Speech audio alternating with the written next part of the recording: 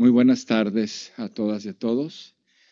Vamos a iniciar la audiencia número 6, personas defensoras de la población en situación de movilidad.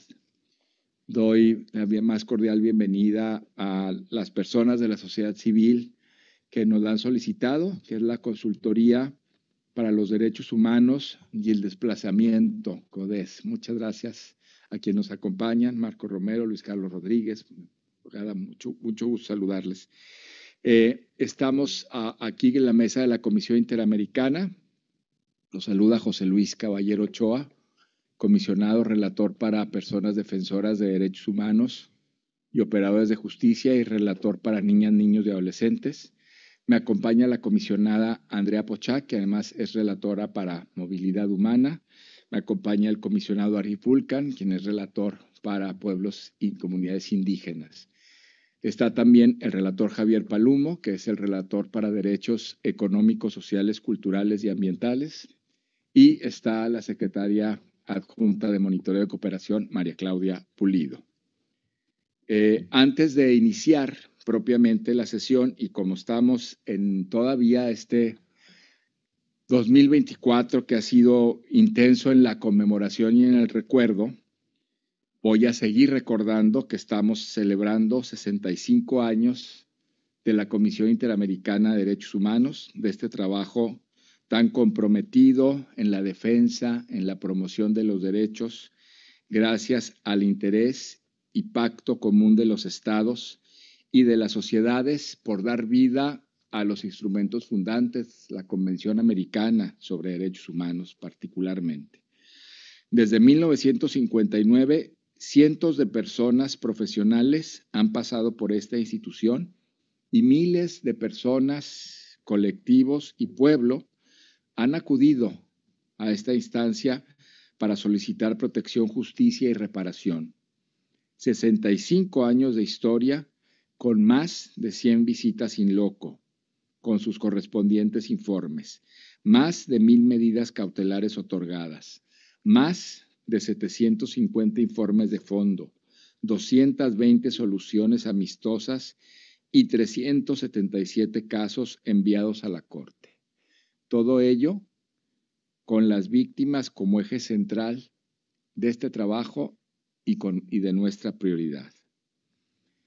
También antes de iniciar, voy a, señalar que es muy importante que para asegurar que esta audiencia sea inclusiva, les pedimos a todas las personas que participen que inicien sus presentaciones indicando su nombre, su cargo y la organización o institución a la que representan, cada vez que tomen la palabra. Hay que decirlo, al menos el nombre al inicio, de manera que las personas con discapacidad visual pueda identificar quién está haciendo uso de la voz. Recordamos además que las audiencias disponen de subtítulos en Zoom. Cada persona puede activarlos directamente desde sus equipos y elegir el tamaño de visualización. Disponible esto también para quien sigue las audiencias en canales de la Comisión Interamericana. Vamos a distribuir el tiempo entre los participantes, 30 minutos de la sociedad civil que nos acompaña.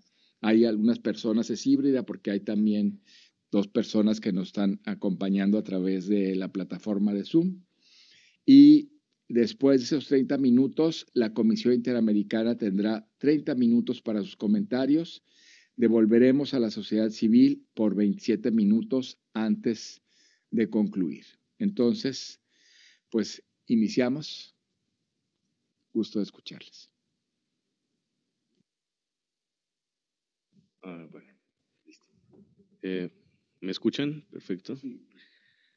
Muy buenas tardes, eh, estimados integrantes de la Comisión Interamericana de Derechos Humanos. Agradecemos mucho este espacio y esta oportunidad que se nos ha brindado para poder exponer pues, un tema que consideramos de vital importancia para ustedes y en general para diferentes actores de la región. Mi nombre es Luis Carlos Rodríguez de la Cruz, soy el coordinador del área Migraciones Forzadas y Refugio en la Consultoría para los Derechos Humanos y el Desplazamiento CODES en Colombia. Iniciaré entonces mi, eh, eh, nuestra presentación que hemos traído para ustedes. Distinguidas personas integrantes de la Comisión Interamericana de Derechos Humanos. Desde la Consultoría para los Derechos Humanos y el Desplazamiento CODES y el Instituto para las Mujeres en la Migración IMUMI, nos dirigimos a ustedes con el fin de informar sobre el contexto regional de las personas y organizaciones defensoras de derechos humanos de población en movilidad humana. Desde un ejercicio de investigación que se ha venido desarrollando por CODES a lo largo del 2024 sobre el estado actual de las personas líderes y defensoras de derechos humanos de la población en movilidad humana, se han identificado una serie de situaciones que, por acción u omisión de los estados en la región y de otros actores, merecen ser foco de atención de la CIDH, ya que de alguna manera limitan y afectan el libre y legítimo ejercicio de la defensa de los derechos humanos, lo cual requiere atención en un contexto de crecientes flujos migratorios mixtos en cuyos países de origen, tránsito, acogida y retorno se necesita mayor garantía y protección a su labor. Un contexto en el cual es importante tener presente que la defensa de los derechos humanos de personas en movilidad humana en la región también se ha sostenido por la labor de las mismas personas que han vivido el desplazamiento forzado y la migración.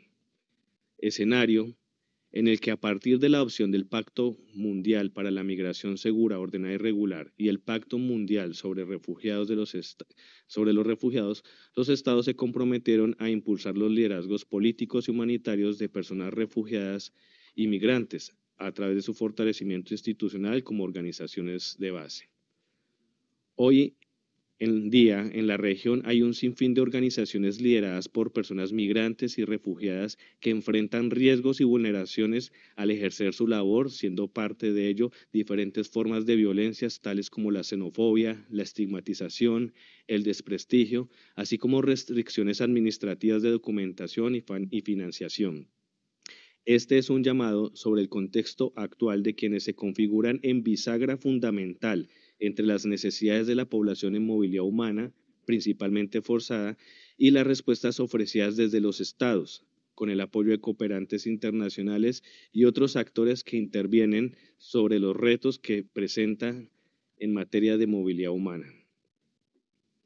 Según el último informe de tendencias globales publicado por ACNUR en junio de 2024, a finales del 2023, 23 millones de personas se encuentran en situación de desplazamiento forzado en la región. Estas cifras no solo obedecen a la presencia de nuevos flujos, sino que también es de flujos que existen desde hace más de una década y cuyas causas de salida y políticas de acogida aún no han sido suficientemente abordadas con un enfoque de protección. Los países de la región ya no son exclusivamente países expulsores o de tránsito, también se han convertido en lugares de acogida y retorno, aunque este último no necesariamente es de carácter voluntario, debido a situaciones de repatriaciones o deportaciones en países de tránsito y destino. Esta triple condición, que toca a gran parte de los países tanto del sur como del centro del continente, crea en dichas dinámicas escenarios en los que se expresan diferentes tipos y niveles de problemáticas, retos y oportunidades que, que de no ser entendidas y atendidas a tiempo pueden por terminar agravando la situación ya existente en materia de derechos humanos y de movilidad humana en la región.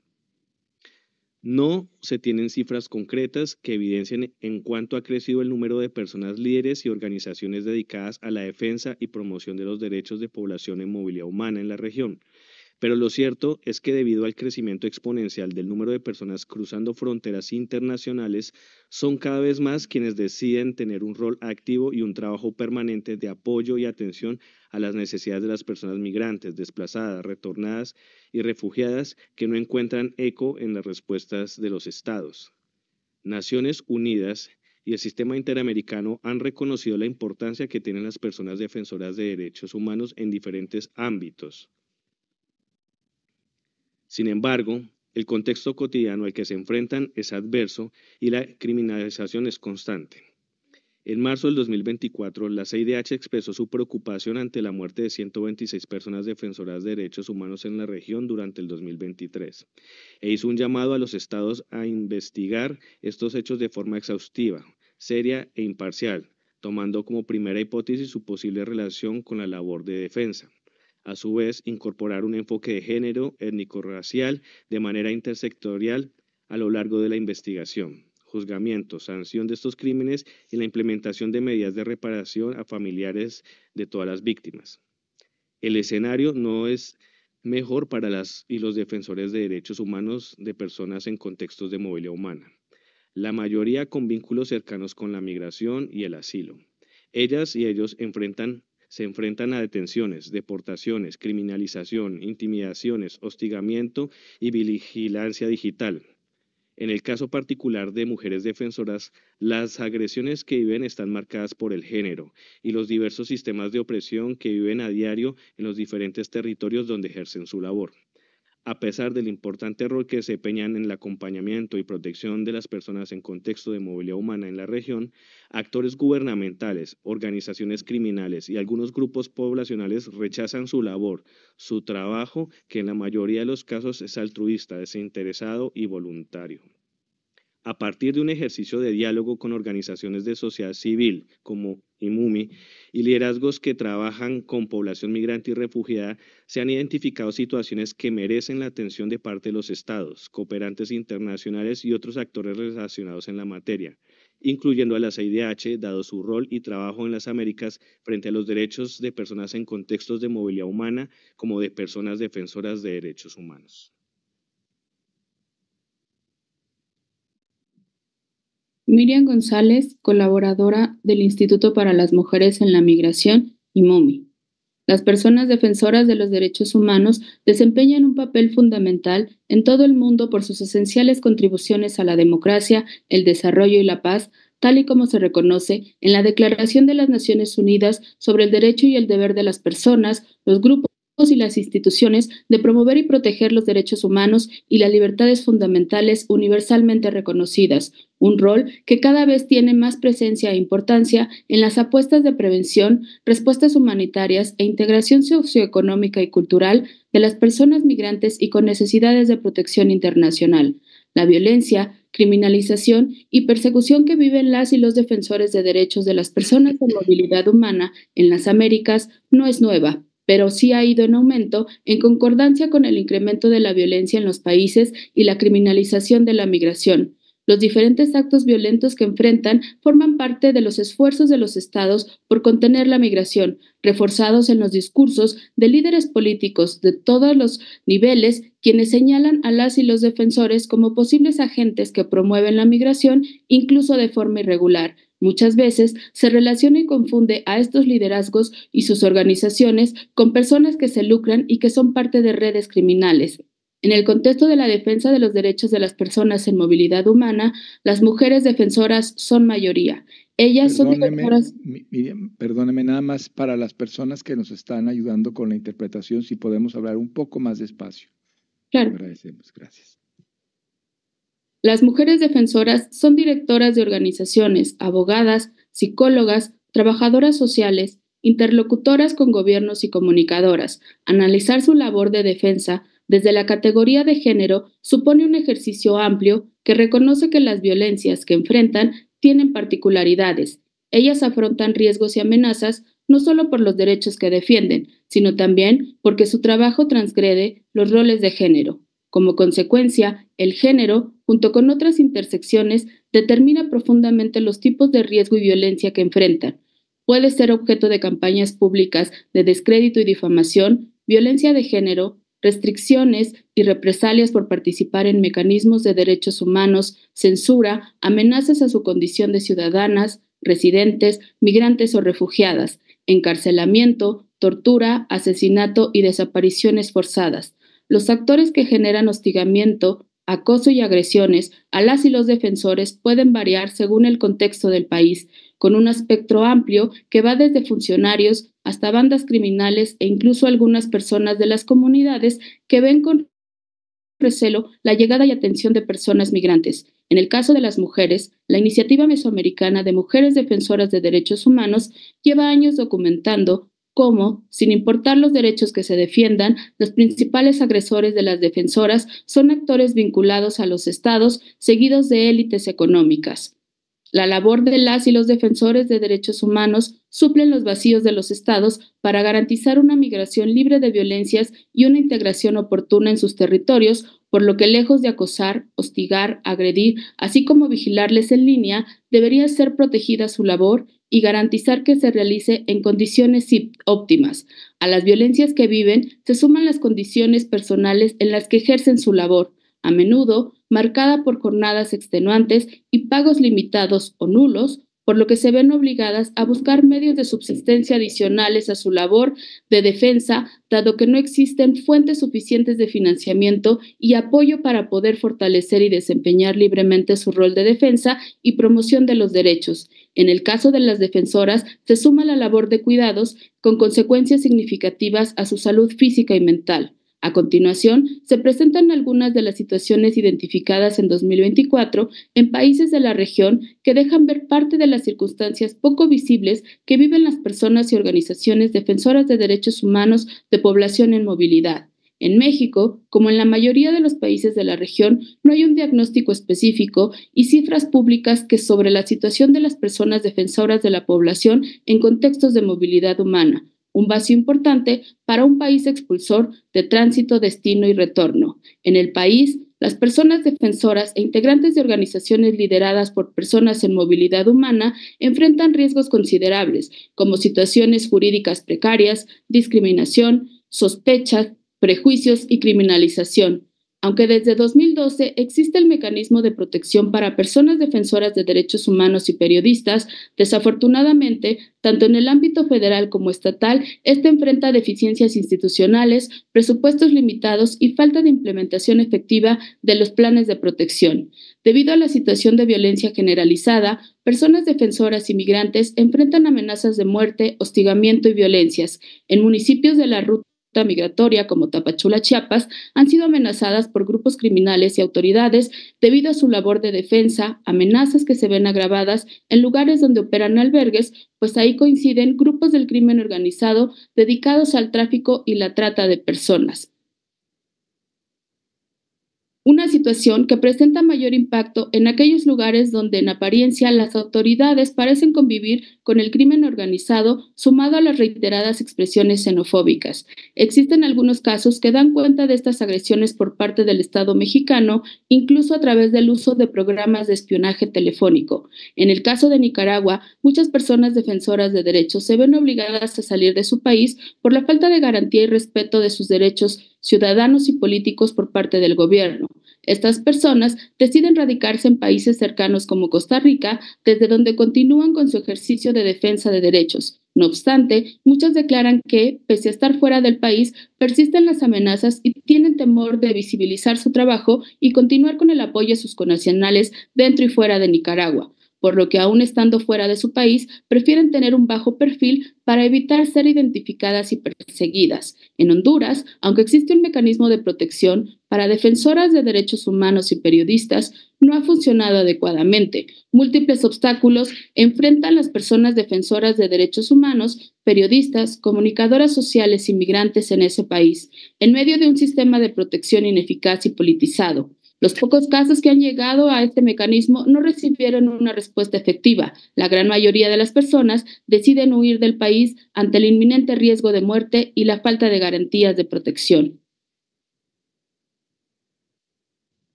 La atención de población en movilidad humana, perdón, Luis Carlos Rodríguez de CODES.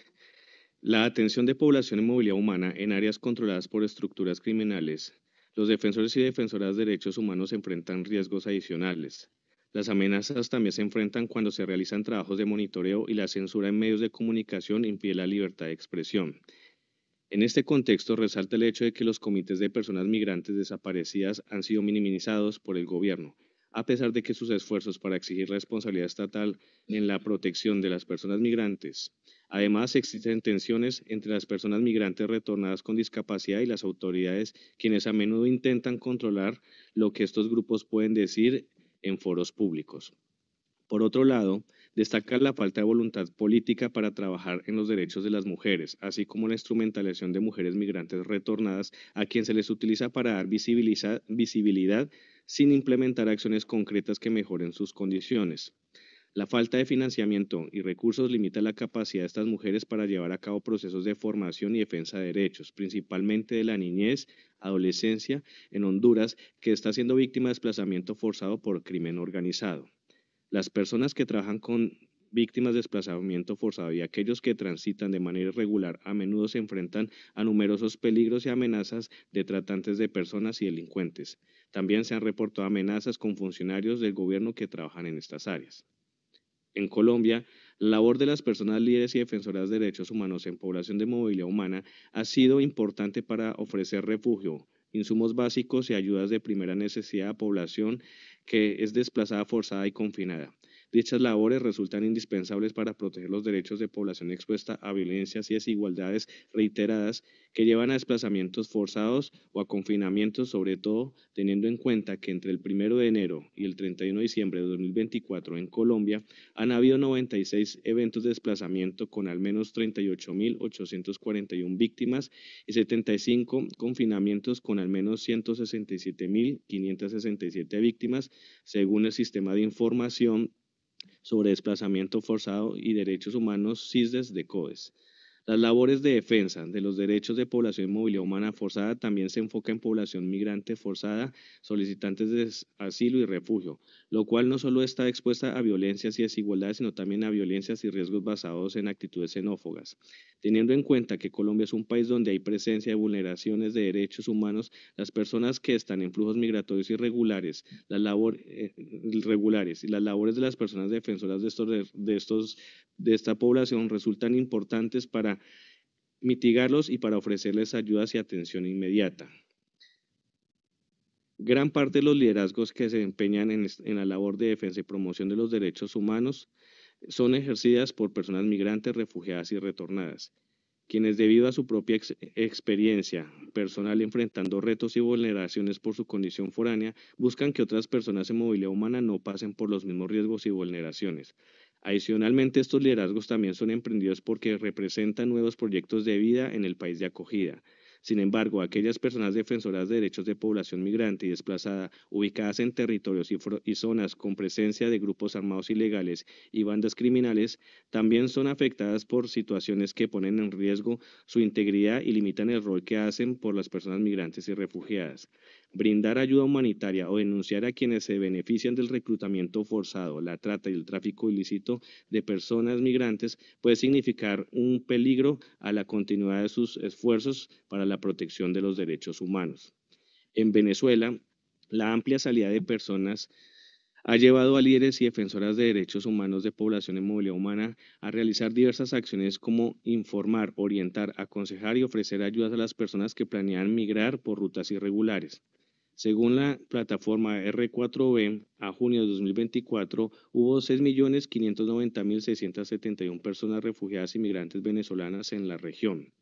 Esta situación ha llevado que personas líderes y defensoras de derechos unan esfuerzos para mitigar violencias en zonas fronterizas de Venezuela, donde se presentan vulneraciones como engaños, trata de persona, hurto, trabajos y reclutamientos forzados, así como atención a personas retornadas a Venezuela que no buscan quedarse, sino que tratan de migrar nuevamente, exponiéndose de nuevo a vulneraciones en las rutas migratorias o en nuevos países de tránsito y acogida.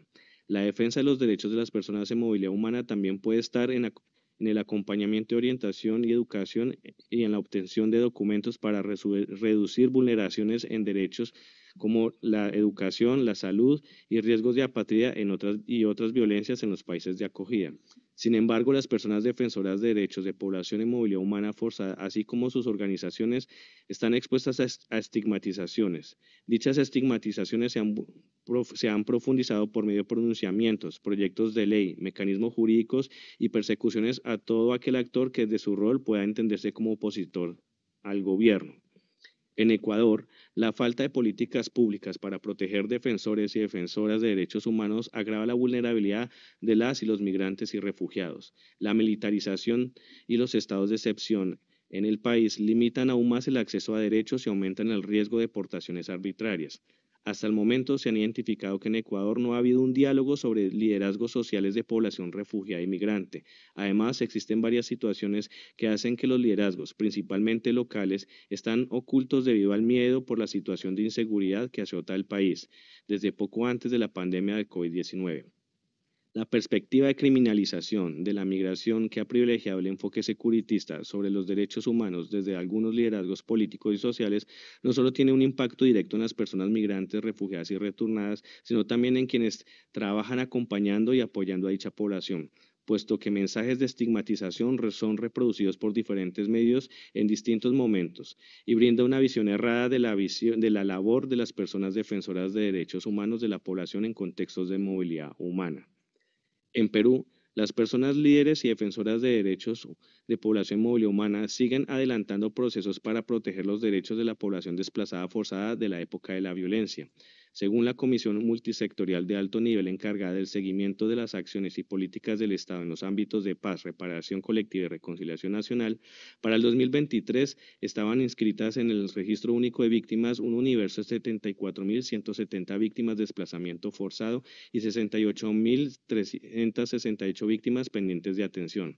Es decir, que se identificó una brecha del 92.19% en la modalidad de reparación para este tipo de población. Es por esto que las personas líderes y defensoras de derechos de población desplazada forzada en Perú siguen teniendo un papel importante, pues continúan trabajando en la atención, ayuda y exigibilidad de derechos para estas personas que aún no son reparadas. Las personas líderes y defensoras de derechos de población móvil o humana en Perú también trabajan por los derechos de población migrante y refugiada.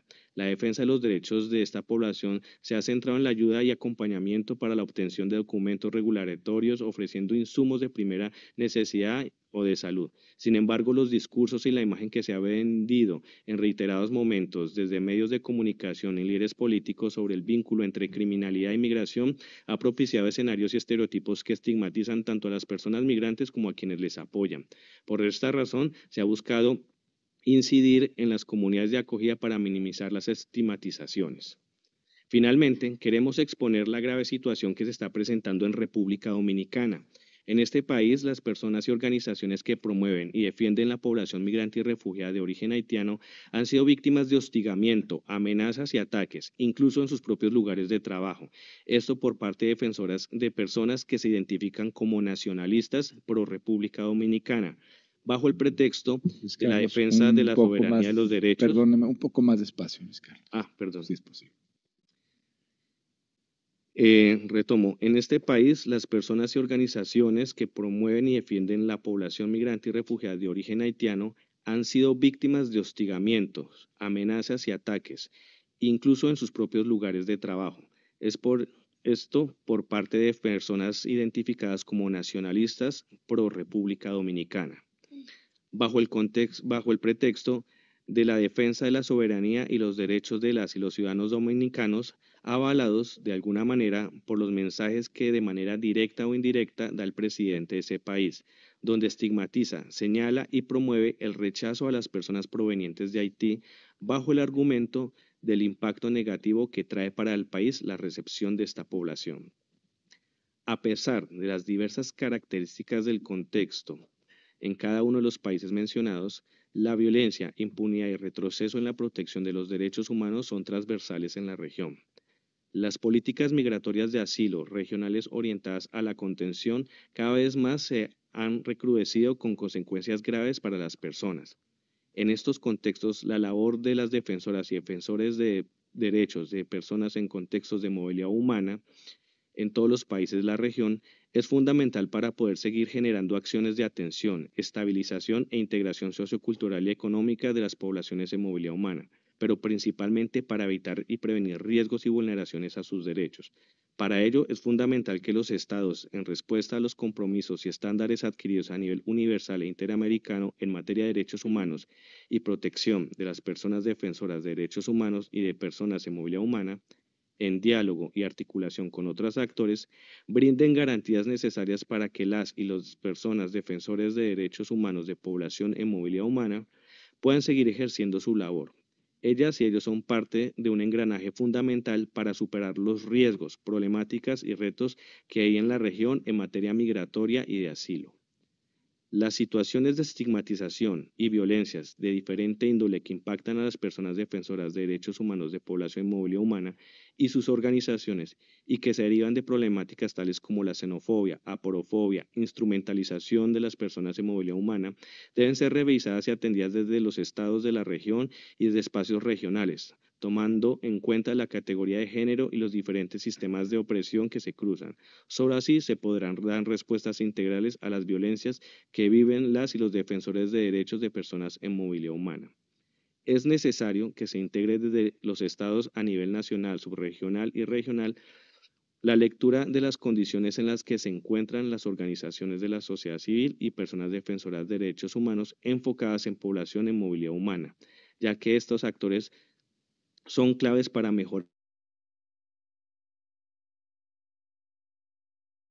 retonadas y desplazadas. Finalmente le doy la palabra a mi compañera eh, Miriam. Miriam González del Instituto para las Mujeres en la Migración y MOMI.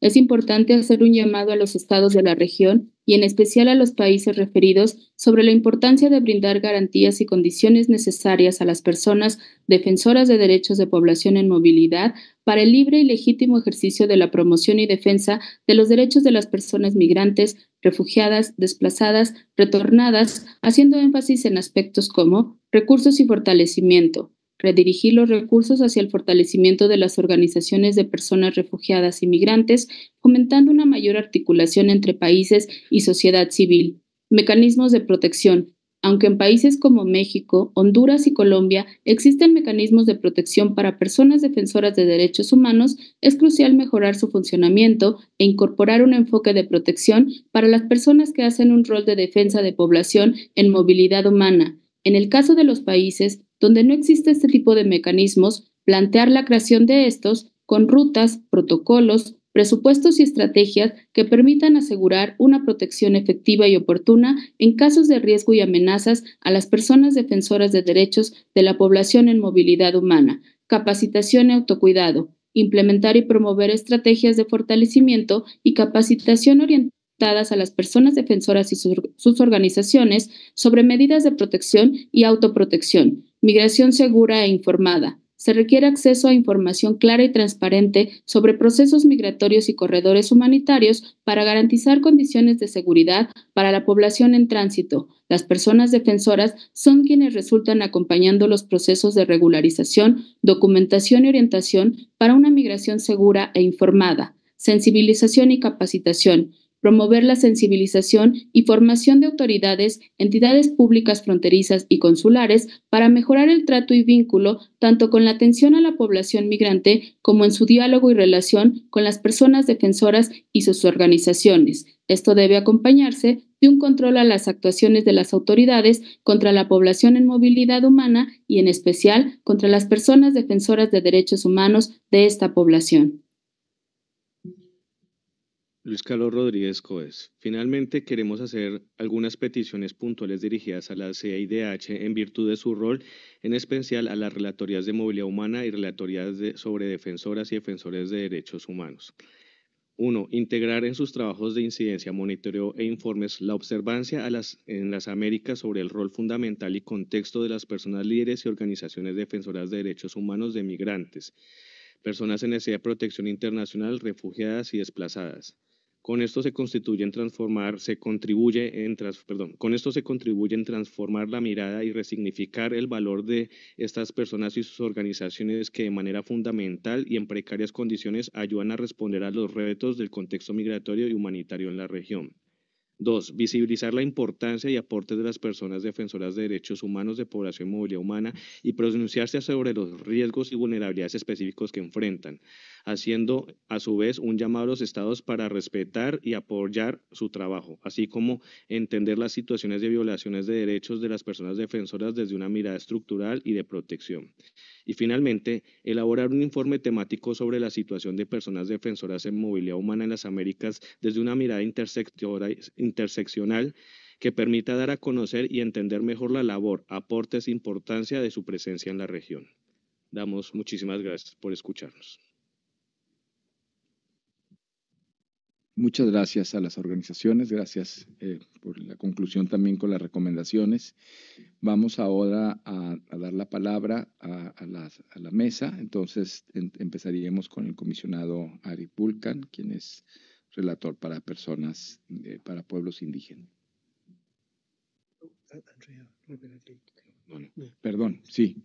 Andrea Pochac, relatora para personas y en movilidad. Discúlpenme, por favor.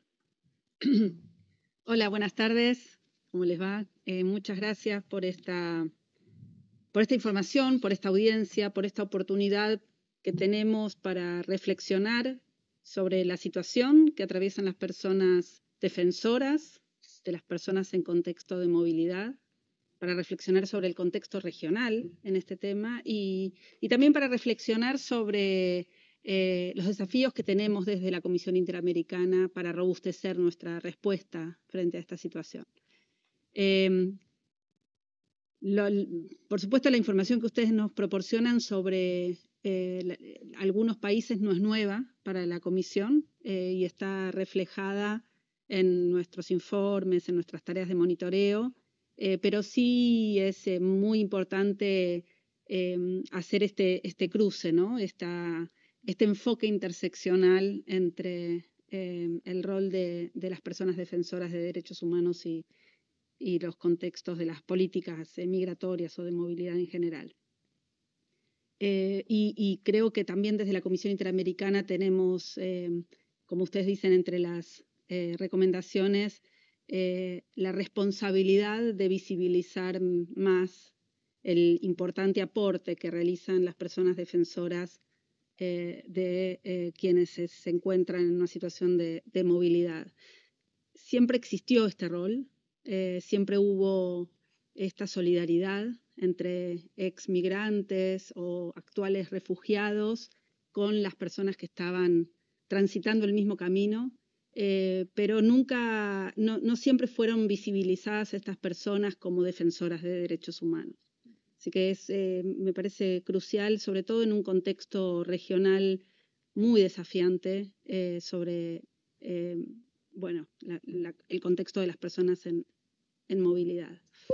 Em, la primera pregunta que tengo para hacerles es si ustedes identifican una relación entre políticas migratorias restrictivas y riesgos para las personas defensoras. O sea, obviamente la, situación del crimen organizado, ¿no? Eh, pero la, pregunta es si, por los ejemplos que ustedes dieron, dieron ejemplos de Colombia, ejemplos de México, de Honduras, em, ustedes advierten en los países que ustedes relevaron eh, una relación directa entre políticas migratorias, tal vez políticas migratorias restrictivas o políticas de asilo o de refugio restrictivas y riesgos para las personas defensoras o, no necesariamente. Em, luego eh, hablaron mucho de los, em, de los malos ejemplos, pero también quiero preguntarles sobre si, pudieron identificar algunas buenas prácticas eh, de, políticas que han adoptado los estados para favorecer el trabajo de las personas defensoras de personas en situación de movilidad. Por supuesto, sabemos eh, los riesgos eh, em, que enfrentan por el hostigamiento, por eh, la criminalización, pero la pregunta es si hay buenas políticas, si hay buenas prácticas que vale la pena resaltar y, lograr tal vez réplica. Em, y, y, finalmente una consulta sobre la cuestión de la criminalización de las personas defensoras.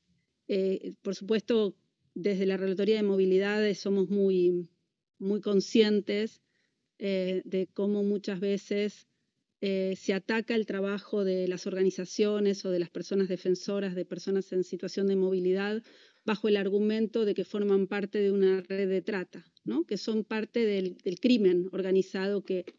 Y entonces em, me parece que ahí tenemos un, un trabajo para hacer para poder identificar mejor cuándo estamos frente a una situación de trata o de complicidad con el crimen o cuando están realizando una defensa, ¿no? Porque el caso reciente de República Dominicana que ustedes mencionan, sobre el cual la comisión se pronunció, eh, discursos denigrantes, esos ataques físicos a la sede de esa organización, también en algunos lugares replicaban que eran parte de trata de personas en movilidad.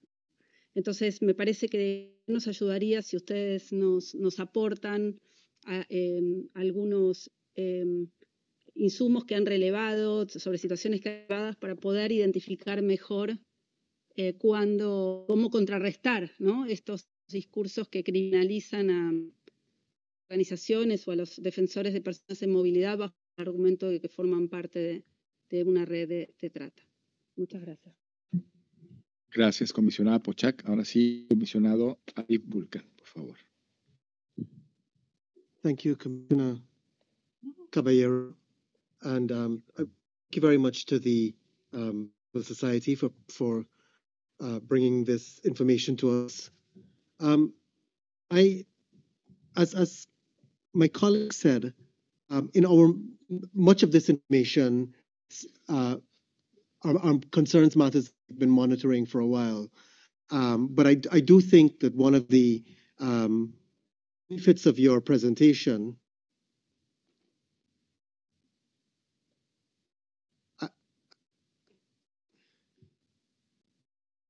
Yes. I,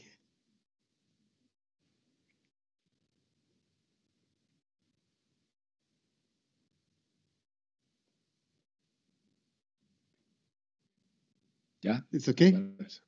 I, I do apologize um, for not speaking in Spanish. Is it okay now? Yes, good.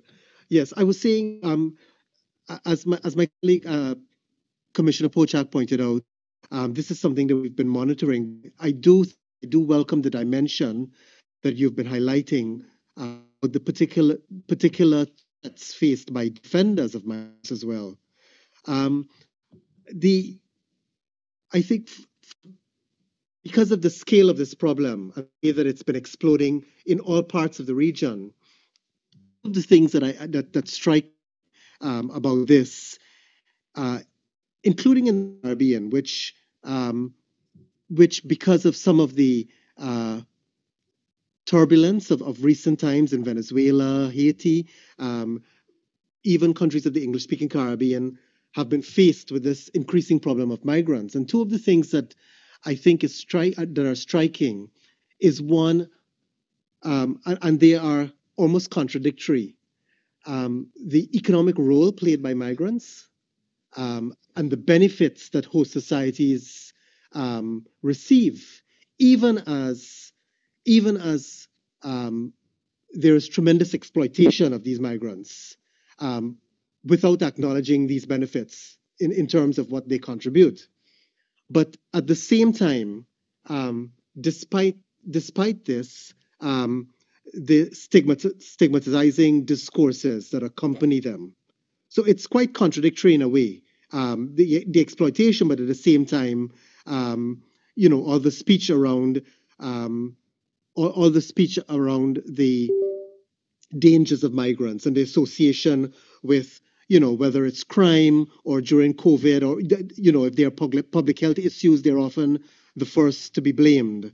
Um, w- what I'm curious about is whether um, you have perhaps um, suggestions to specific measures that might um, be useful or recommendations for, for counteracting this kind of stigmatizing dis- discourse, um, particularly in the context where um, migrants are, you know, acknowledgedly play, play such a, an important role in societies.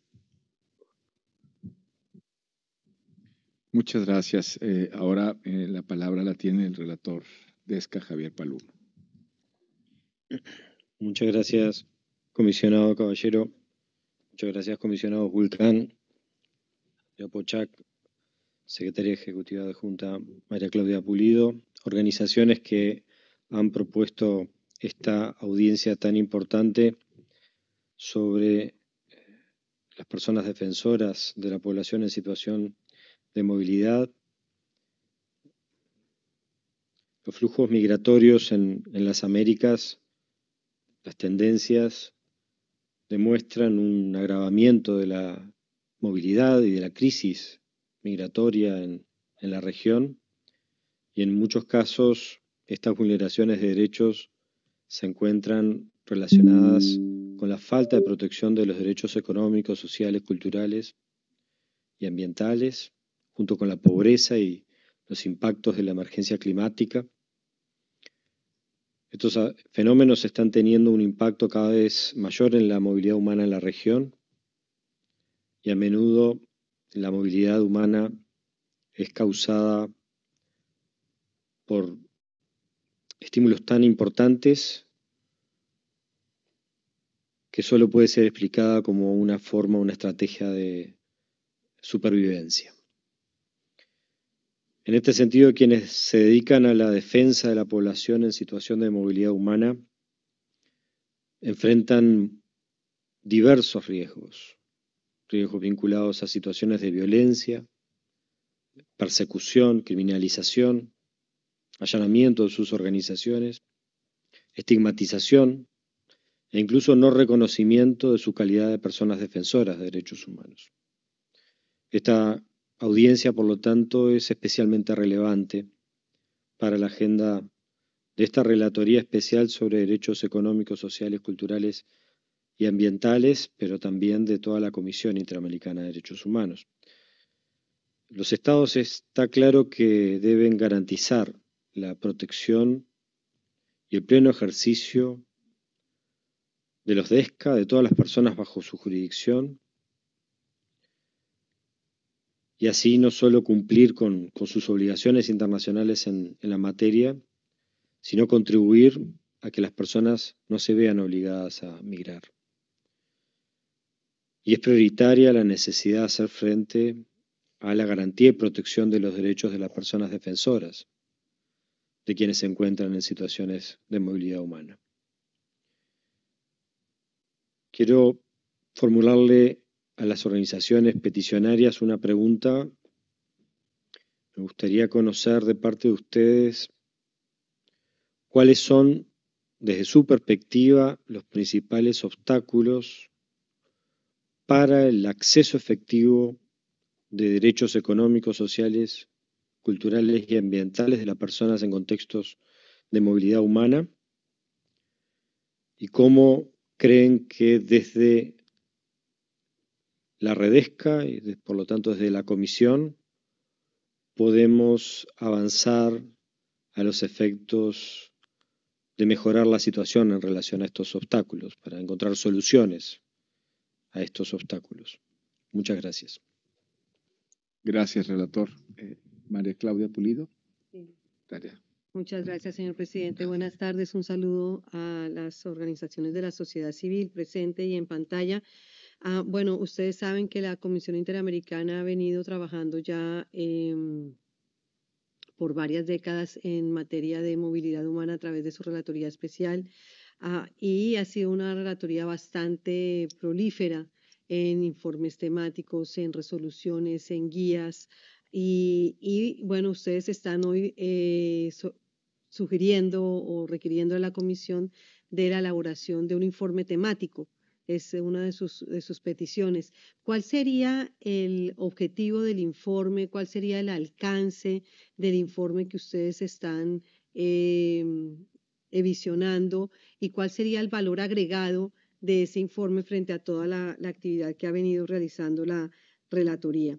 También eh, sería interesante para, para, nosotros desde el equipo técnico identificar em, cuando están hablando de casos de criminalización de personas em, eh, lideresas de movilidad humana, qué tipo de eh, delitos se les imputa, qué tipo de conducta se les imputa y de dónde previenen las denuncias en contra de ellos. Se tratan de eh, algunos sectores específicos que, que las denuncian o se tratan de actividades de oficio por parte de los estados, un poco para entenderlo en la perspectiva de la tipificación que se hace también desde la Relatoría de Personas Defensoras. Y también eh, preguntar sobre la mitigación de riesgos a esas personas defensoras en movilidad. ¿Cuáles ustedes creen que serían como estrategias adecuadas para mitigar esos riesgos y qué, qué rol pudiera jugar eh, la comisión en ese sentido? O sea que sería eso. Muchísimas gracias, señor gracias. Muchas gracias, Claudia. Voy a a tomar la palabra brevemente, agradeciendo también esta, esta información que nos, que nos han proporcionado.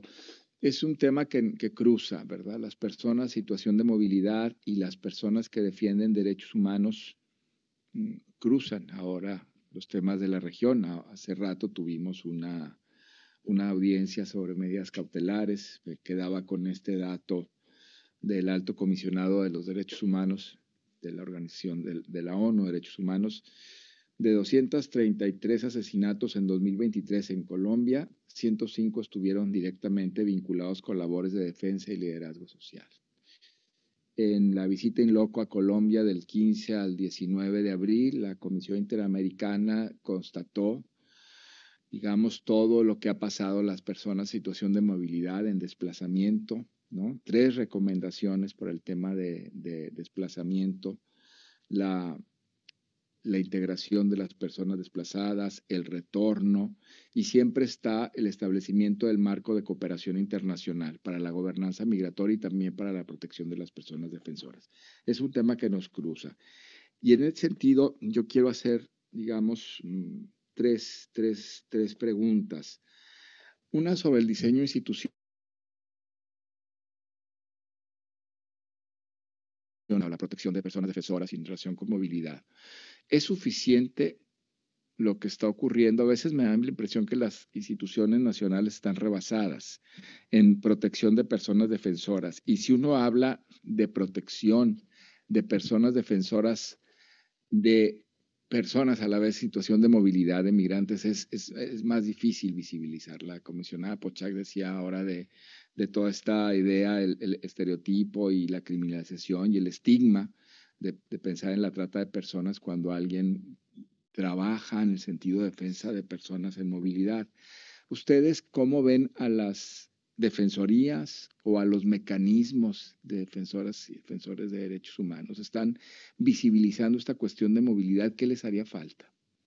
Y luego un tema que que, trajo en la mesa Miriam González, que tiene que ver con, con las personas que realizan labores de cuidado, mujeres defensoras u, hombres también que pueden realizar labores de cuidado, que además es muy interesante porque los flujos migratorios luego los, las labores de cuidado las van, se van, las van teniendo terceras personas. ¿Qué, ¿Qué tendrían que tener los estados para proteger digamos, la labor de cuidado, porque finalmente quien ejerce la labor de cuidado defiende derechos de niñas, niños y adolescentes. ¿eh? Esa es una cosa interesante en el tema de los refugios, en el tema del acompañamiento en, en, en guardia y custodia, acciones legales, ¿qué tendrían que tener los estados acompañando personas que cuidan? sean papá, mamá, eh, y que defienden derechos de niñas, niños y adolescentes. Esa es la segunda. Y la tercera, reitero lo que dijo, lo que preguntó María Claudia Pulido, pero además pondría yo el ingrediente que, la comisión está ya preparando un informe sobre situación tercero, sobre situación de defensoras y defensores de derechos humanos en las Américas, que va, que viene después del de 2011 y ha abordado el tema. ¿Sería, ustedes estimarían un, informe distinto a ese? ¿En qué sentido? ¿O podría ser un apartado sobre personas en situación de movilidad? Hasta ahí mis preguntas y ahora pues nos queda un tiempo, pero les voy a devolver la palabra. Vamos a iniciar. Y, si se pueden presentar otra vez para, para reiterar esto que dijimos al principio, ¿verdad? De que, de que las personas puedan captar quién está hablando. Gracias. Eh, gracias, eh, señor presidente. Mi nombre es Marco Romero, director de CODES eh, en Colombia. Em, quiero pues em, saludar a los señores comisionados, a la comisionada Andrea, a María Claudia, agradecerles por eh, el interés que han puesto en esta temática que traemos el día de hoy. Mm, quisiera responder algunas de las preguntas y luego vamos con los demás compañeros y compañeras. En primer lugar, mm, quiero decir dos cosas que son relativamente obvias, pero que es bueno volver a traer a, colación el día de hoy. Una, saludamos todos los mensajes de la Comisión Interamericana y de las Naciones Unidas en el sentido de que la protección de derechos, la defensa de los derechos no es un trabajo que se limita a las organizaciones que profesionalmente hacen ese trabajo, sino al liderazgo social, que la defensa de derechos es la defensa misma de, que hace la propia gente, sus organizaciones, eh, sus esfuerzos eh, eh, en distintos ámbitos. Ese es un, enfoque que nos parece muy importante, que es muy exigente, plantea desafíos muy grandes, porque el universo es mm, aún mayor, pero también es una buena señal, porque de algún modo mm, la salud de los derechos de, muchos contingentes de población, de muchos sectores sociales, depende de la salud de los defensores y defensoras, del liderazgo social. En Colombia las organizaciones sociales hemos planteado una consigna, proteger el liderazgo social es proteger en última la democracia, porque históricamente ocurría lo contrario se veía el liderazgo social como la antítesis de la democracia, como el enemigo de la democracia, y todavía en muchos países donde hay unas restricciones muy severas del, espacio cívico en América Latina, nuevas incluso, antiguas y nuevas, se ve al, liderazgo social como el estorbo y no como la potencia de la democracia. Nosotros creemos que proteger la vida, proteger las garantías, la dignidad de los líderes y lideresas sociales en general es proteger un componente vital de la democracia y en ese sentido pensamos que una de las, de las, digamos, de las, de las tareas que tienen los estados y el sistema internacional de protección de los derechos humanos es la de no solo reaccionar, como lo decíamos ahora en la audiencia, sobre medidas cautelares cuando el problema ya existe, cuando la amenaza está encima,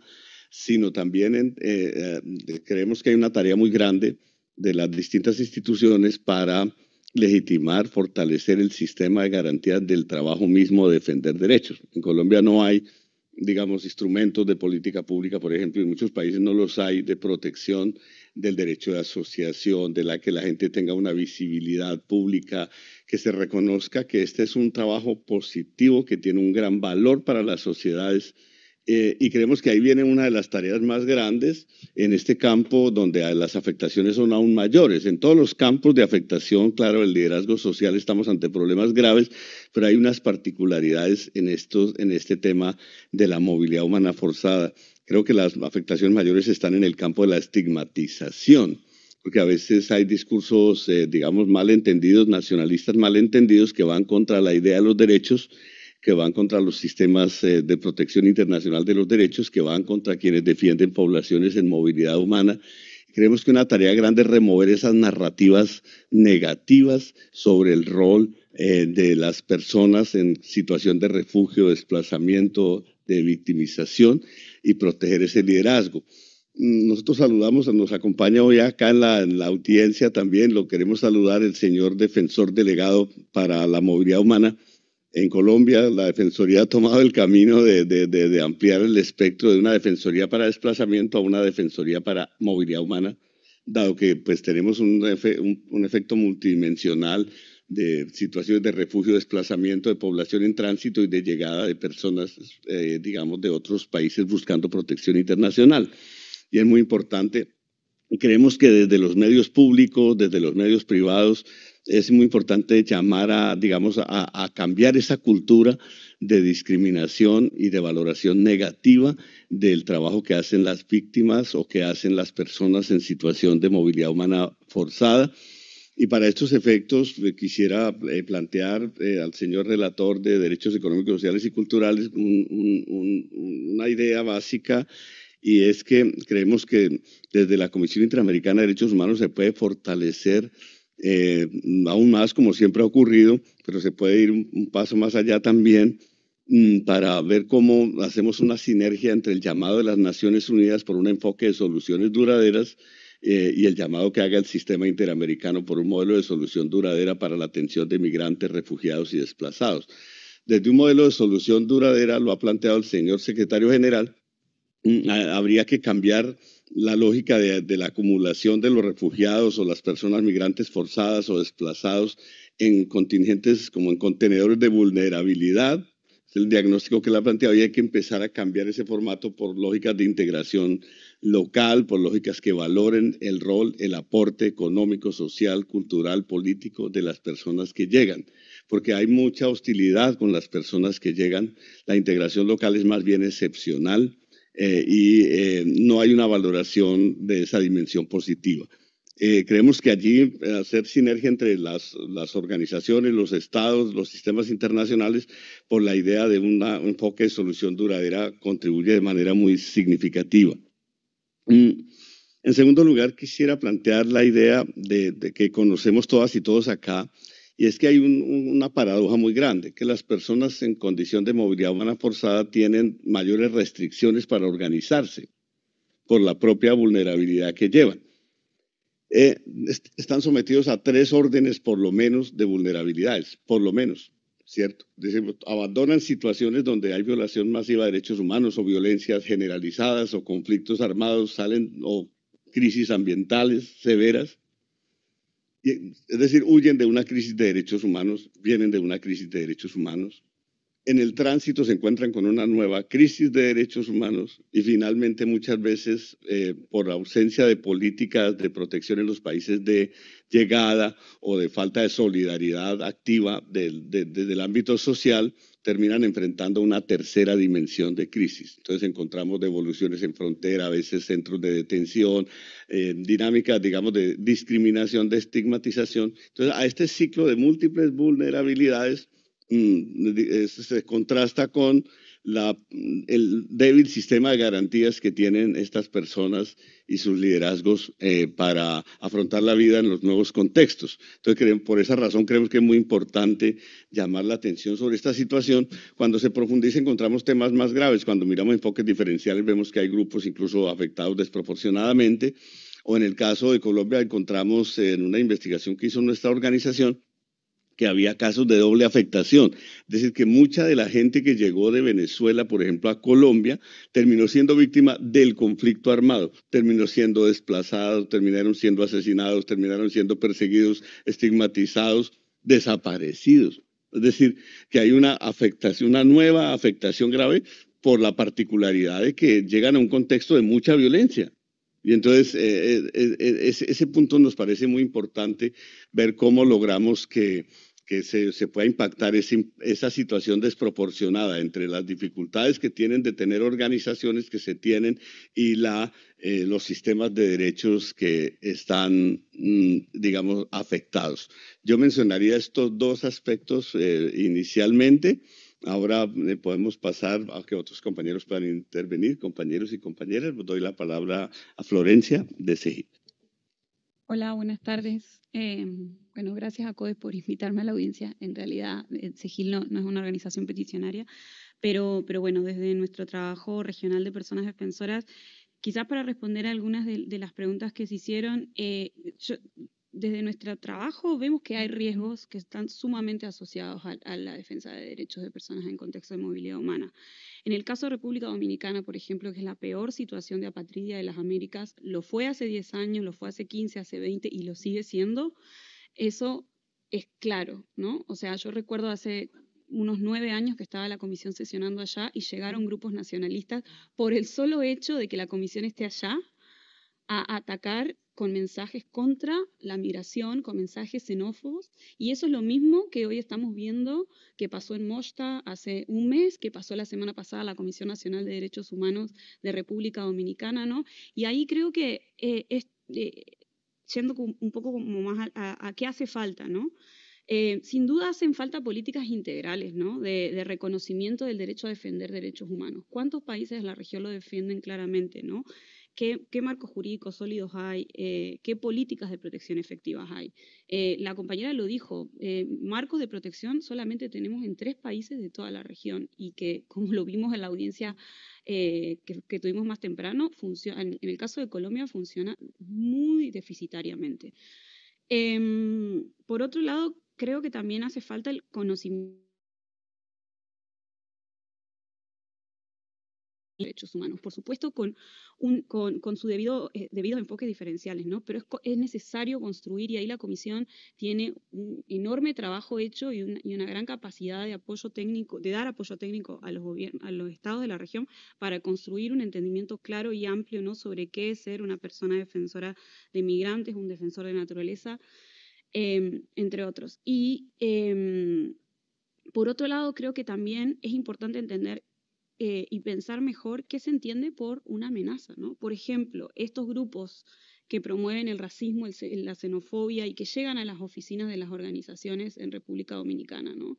Eso lo podemos entender como una amenaza, ¿no? ¿Qué hacen los estados frente a eso? Los investigan con una línea de investigación como si fueran organizaciones eh, defensoras de derechos humanos, de liderazgos, eh, creo que, mm, que, esos tres puntos eh, me parecen sumamente importantes y ahí eh, el protocolo de la esperanza, que es una herramienta que, integral, que busca ser igual al protocolo de Estambul, al protocolo contra femicidios, proporciona directrices basadas en el derecho internacional para promover una respuesta adecuada a los derechos, a, a las amenazas, para investigar, para perseguir penalmente y sancionar estos delitos.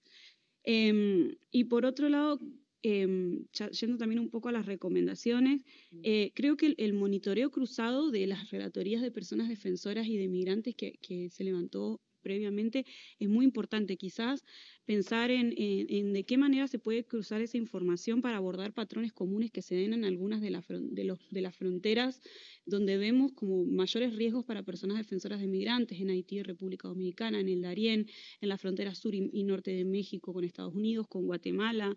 Em, y, también un poco haciendo como un paralelo con la, con la reunión de la, con la audiencia de la mañana, pensar en el involucramiento y el monitoreo que hacen el ACNUR y la OIM también, ¿no? ¿Qué, qué rol tienen estos organismos que trabajan con personas con, que tienen un mandato de, protección a personas migrantes, refugiadas, apátridas, eh, en, en, cuanto a personas defensoras. ¿no? ¿Qué, qué, qué protección, qué mecanismos tienen para el acompañamiento y para garantizar eh, que puedan seguir ejerciendo la defensa de derechos en un contexto que es cada vez más eh, agravante en términos de movilidad? Gracias.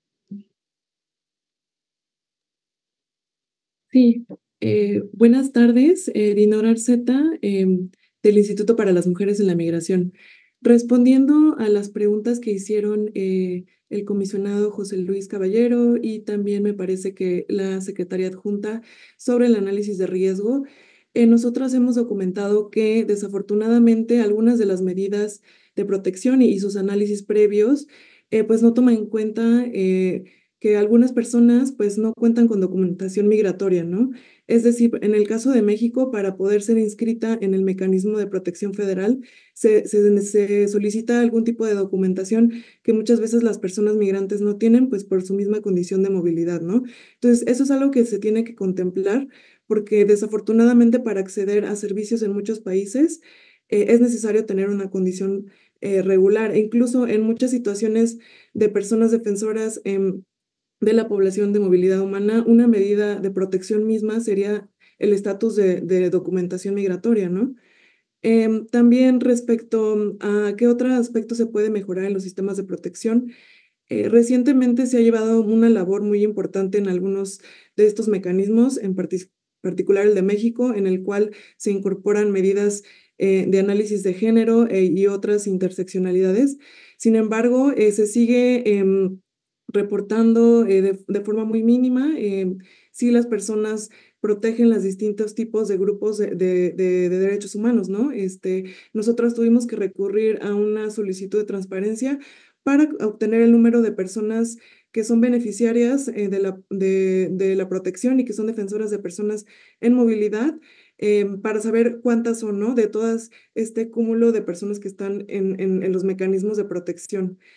ahora bien, este, también respecto a lo que se mencionó de, las labores no remuneradas de cuidado, esto es algo que también no se ha visibilizado en los mecanismos de protección. Muchas veces una medida de protección misma es la salida del lugar donde están sucediendo los ataques o los riesgos y vulnerabilidades, lo cual constituye mucho, en muchas ocasiones, un desplazamiento mismo y, una separación familiar, ¿no? Eh, esto se tiene que incrementar porque en muchas ocasiones... Eh, Hemos visto que mujeres defensoras pues se tienen que separar de, de aquellas personas adultas mayores con discapacidad em, o incluso em, eh, niñas, niños y adolescentes que cuidan. Eh, por lo tanto, también eh, una, una protección que se debe de incluir en estos sistemas, pues es, es, es la inclusión también en, en, en, en, los sistemas nacionales de cuidado, si es que hay o algún tipo de servicio de cuidado y que se acorde con los riesgos ¿no? que sufre la persona defensora. bueno, ahora bien, em, contestando a la pregunta em, del relator de la Redesca, eh, muchas gracias por, por preguntarnos eh, qué tipo de soluciones no, no, hemos visibilizado no hemos encontrado. Pues actualmente nos, estamos en un contexto del proceso Cartagena más 40, donde organizaciones hemos puesto sobre la mesa pues la situación de desplazamiento a causa del cambio climático y desastres socioambientales. Y pues en, a raíz de estas labores de incidencia hemos notado que ha, ido, ha sido una mínima mención a la situación que, que pasa este desplazamiento para las personas defensoras del medio ambiente y territorio, eh, sobre todo eh, aquellas situaciones que ocurren por la actividad empresarial eh, y de extractivismo que pueden realizar. Entonces, algo que, que podría ayudar muchísimo sería que urgir a los estados que también Em, en el marco de las empresas, del marco de protección de, derechos humanos y empresas, las empresas mismas consideren el desplazamiento em, en sus análisis, ¿no? De debida diligencia, porque eso es algo que no hemos visto y que hoy por hoy está sucediendo y que también genera desprotección y riesgos para las personas defensoras, em, de personas también desplazadas por el clima eh, y los desastres naturales. También otra cosa que mencionó la comisionada Pochak eh, sobre si identificamos una relación entre políticas restrictivas y riesgos eh, para personas defensoras de personas en movilidad. La verdad es que nosotras eh, contundentemente respondemos que sí hay un vínculo, lo hemos documentado ya desde varios algunos años. En 2018 vimos que con la llegada del el presidente Trump, hubo un aumento, ¿no? Y, con sus políticas restrictivas de, de, la migración y de derecho a solicitar recibir asilo, Em, a través de campañas de intimidación, amenazas, hostigamientos e investigaciones penales contra personas que defendían a estas personas en movilidad eh, y que se generó un contexto también de la misma comunidad de origen de estigmatización contra estas personas defensoras em, de derechos de, la población migrante y sobre todo ahora mencionarlo que también lo hemos documentado en un contexto de securitización eh, y militarización de las políticas migratorias que cada vez están basadas en, en, en restringir y contener lo más que se pueda a través del uso de la fuerza eh, y a través de medidas como el despliegue de Fuerzas Armadas y Marinas en los controles em, de migratorios o fronterizos y en los cuales pues las personas defensoras, sobre todo aquellas que están en frontera, pues han tenido que llevar a cabo medidas em, de seguridad para ellas mismas porque vemos que hay enfrentamientos no solo eh, pues para frenar este, a las personas migrantes, sino también para frenar este, pues a, los grupos ilegales o, grupos criminales y que además esto genera mayor vulnerabilidad para que las personas puedan incluso llevar a cabo su labor, ¿no? Eh, genera mucha desprotección para la población que las políticas eh, eh, migratorias pues estén basadas en la, en, la, militarización y en la securitización. También ya para, para complementar sobre lo que mencionó la em, secretaria adjunta em, de la CIDH sobre qué valor agregado tendría este informe. Pues realmente sí hay muchos informes por la misma em, relatoría eh, de, defensa de derechos de, las personas defensoras eh, y también eh, a nivel del, del, sistema ONU y de los procedimientos especiales. sin embargo, em, ha sido mínimos los que tienen enfoque regional, ¿no? Este, nosotros vemos que es una región que, va a tener mucha em, situación restrictiva para la población en movilidad ahora con el contexto de Estados Unidos y pues que hemos visto que también se han externalizado sus fronteras eh, con los vuelos de deportación en Panamá, con medidas que, que terciarizan eh, el control migratorio en varios países como Guatemala, Colombia, etcétera. Eh, y que pues va a ser un contexto en donde habría que ver también el foco de cómo vamos nosotras como personas defensoras a llevar a cabo nuestra labor cuando hay todos esos obstáculos para poder hacerlo em, y sobre todo pues desde un enfoque de género, ¿no? Este, Sí, la, la, la, relatoría de personas defensoras sería pionera, pues al poner este ojo en, a nivel regional, porque incluso este, eh, a nivel de, de, la Unión Africana, pues tampoco cuentan con, con digamos, una visibilización de su sistema eh, sobre la situación de personas defensoras, em, de personas en movilidad. Eh, y finalmente, también otra situación que, que, no, que creo que no ahondamos tanto es la situación de vigilancia digital, ¿no? las tecnologías cada vez están utilizando mucho también para el control migratorio, sobre todo este, Eh, eh, y, pues nosotros como personas defensoras pues hacemos uso de, nuestras campañas de información eh, sobre las políticas migratorias y, los derechos que tiene la, población migrante.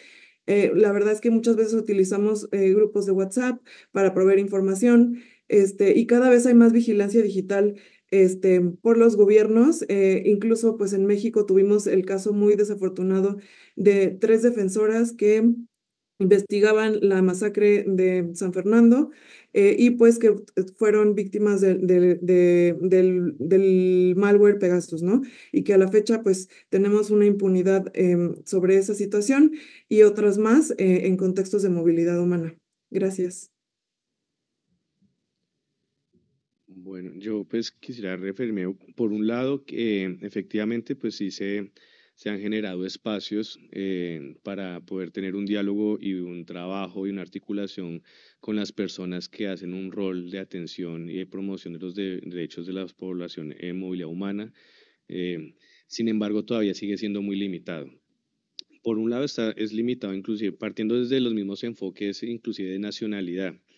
Eh, si bien eh, en varios espacios a nivel regional se ha invitado a diferentes organizaciones, algunas nacionalidades, comenzando por la misma haitiana, se han sentido relegadas. Eh, cuando se van a presentar para poder eh, tener algún recurso, acceso a algún proyecto, pues muchos de esos recursos ya tienen apellido de algún país o de alguna nacionalidad y ya ellos quedan de por sí excluidos. Hablo, por ejemplo, en el caso de Chile. Eh, donde hay población haitiana y donde pues eh, básicamente hace un esfuerzo poder visibilizar dónde están ellos porque históricamente no han podido tener las facilidades de tener una, una facilidad para poder organizarse y poder hacer una labor. Entonces eso por un lado, sumado pues obviamente a lo que ya expresaba en, mi lectura y que ya se refirieron hace un rato pues mi compañera de Segil y es precisamente una situación que por ejemplo en el caso de República Dominicana es presente y ahora más. Y pues tengo que decir, yo he visto los videos de las personas que desde sus oficinas graban cómo llegan estos grupos con banderas, con bafles, con micrófonos, a gritarles cualquier cosa y a amenazarles y a decirles que no tienen derecho a seguir trabajando y apoyar a población que viene del lado haitiano.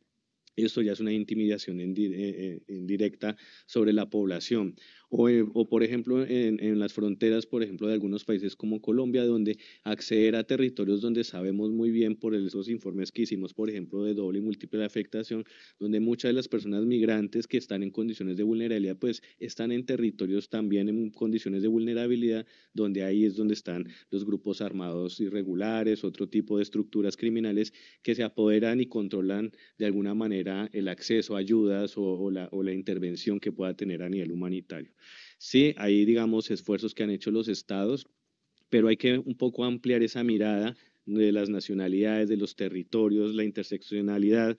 También hay que, eh, eh, es cierto que los recursos y a veces eh, instituciones como las defensorías pueden estar rebasados, pero eso no puede ser una excusa porque definitivamente, como lo decía, si no se entiende y se analiza estas situaciones, puede agravarse y tarde o temprano tiene que ser una situación que se tendría que atender. Hay que hacer los esfuerzos necesarios y ahí yo creo que, como se mencionaba, el rol de la cooperación internacional tiene que también brindar para generar capacidad instalada para que se incorpore este enfoque, porque si bien todos hablamos de las personas migrantes y refugiadas, quienes han permitido esa respuesta y que ha beneficiado de alguna manera y facilitado el trabajo de los estados son esas mismas organizaciones y liderazgos. No veo cómo sería, eh, digamos, por ejemplo, ejercicios regionales como la Declaración de Cartagena o como otros cómo sería si no hubiera la presencia de los aportes de la sociedad civil que eventualmente se traducirán en, en acciones concretas de política pública.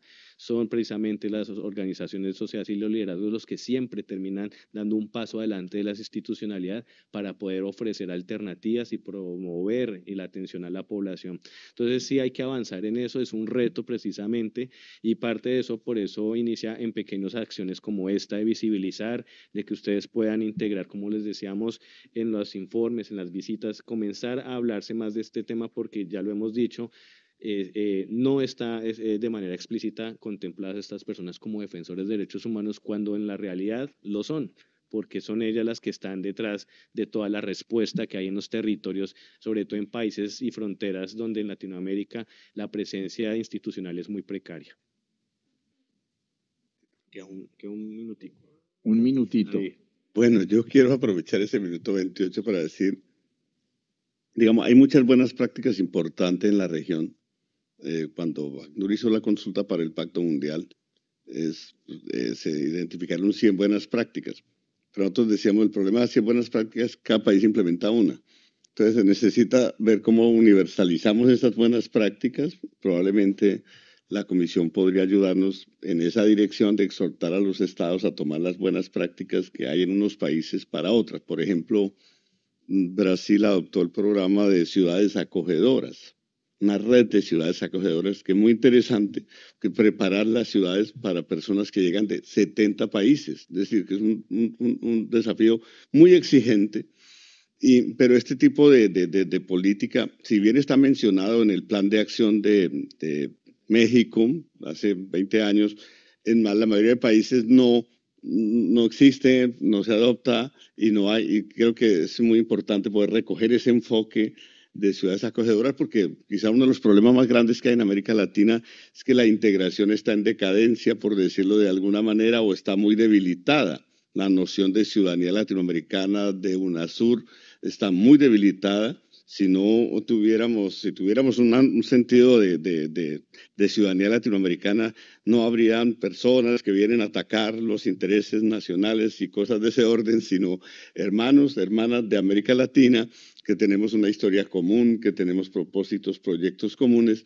Mientras avanzamos en esa dirección, que tenemos fe en que puede ser, que podamos avanzar en esa dirección, nos toca evitar ver cómo trabajamos con una perspectiva de solidaridad y una perspectiva de seguridad humana, porque estamos seguros que eh, mientras más, digamos, haya un enfoque, eh, como lo planteó la compañera de México, securitista en el sentido policial, pues más, eh, más, más se obliga a las personas o más se dejan las personas en movilidad humana forzada en manos de la delincuencia o en, en el ámbito de la irregularidad. Y allí creemos que hay que pensar un enfoque desde derechos humanos como enfoque fundamental. Muchas gracias. Muchas gracias. nada más para ya terminar, eh, sí recordar que la comisión está preparando este tercer informe sobre la situación de las defensoras y defensores de derechos humanos en las Américas. Es un informe regional. Todo esto podemos, nos dan información también y podemos eh, acompañarlo, arroparlo, tener en consideración para este informe que esperamos pues será muy importante para la situación de la defensa de derechos humanos. Muchas gracias por su participación, les agradecemos mucho. Bien, de nuevo muchas gracias a la comisión, muchas gracias por todo su trabajo.